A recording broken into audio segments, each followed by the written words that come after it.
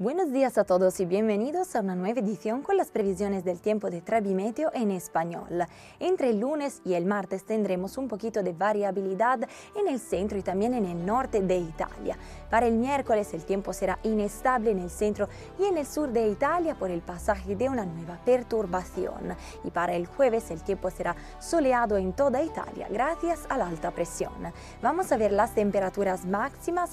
Tendremos 18-20 grados centígrados en Milán entre el lunes y el jueves, 21-23 grados centígrados en Florencia. Y como podéis ver, tendremos temperaturas máximas normales en toda Italia, excepto para el lunes en el sur de Italia, cuando el clima será caliente, con temperaturas por encima del promedio. Como podéis ver, por ejemplo, en Foggia los valores máximos llegarán a los 26 grados centígrados.